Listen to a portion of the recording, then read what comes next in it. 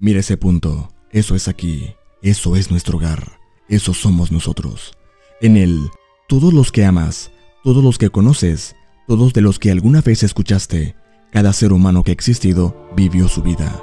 La suma de todas nuestras alegrías y sufrimientos, miles de religiones seguras de sí mismas, ideologías y doctrinas económicas, cada cazador y recolector, cada héroe y cobarde, cada creador y destructor de civilizaciones, cada rey y campesino, cada joven pareja enamorada, cada madre y padre, niño esperanzado, inventor y explorador, cada maestro de la moral, cada político corrupto, cada superestrella, cada líder supremo, cada santo y pecador en la historia de nuestra especie vivió ahí, en una mota de polvo suspendida en un rayo de sol.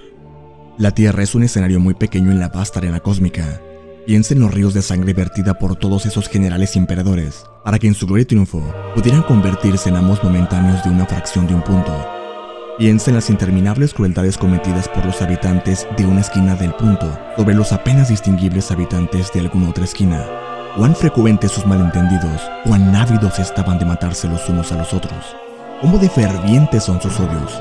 Nuestras posturas, nuestra importancia imaginaria, la ilusión de que ocupamos una posición privilegiada en el universo es desafiada por este punto de luz pálida.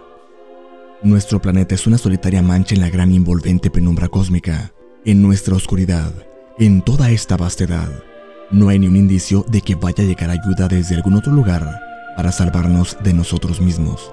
La Tierra es el único mundo conocido hasta ahora que alberga vida. No hay ningún otro lugar, al menos en el futuro próximo, al cual nuestra especie pudiera migrar ¿Visitar? Sí. Asentarnos aún no. Nos guste o no, por el momento la Tierra es donde tenemos que quedarnos.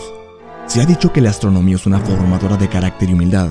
Tal vez no hay mejor demostración de la locura de los conceptos humanos que esta distante imagen de nuestro minúsculo mundo. Para mí, subraya nuestra responsabilidad de tratarnos mejor los unos a los otros y de preservar y querer ese punto azul pálido, el único hogar que siempre hemos conocido.